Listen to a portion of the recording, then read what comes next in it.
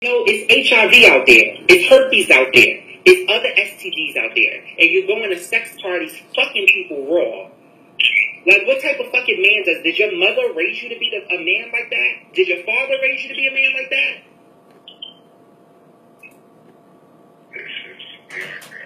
Yeah, my gosh. That's all you can say. And, and you know that I'm not lying because if I was lying, you would say, you're lying, you're lying, you're lying. You're lying. And you know I'm not lying. Just keep it real.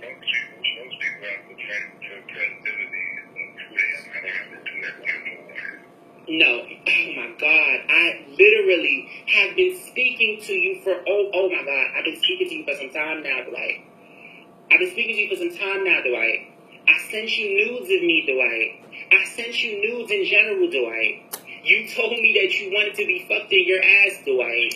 You told me that you want to suck dick, Dwight. You have been flirting, Dwight.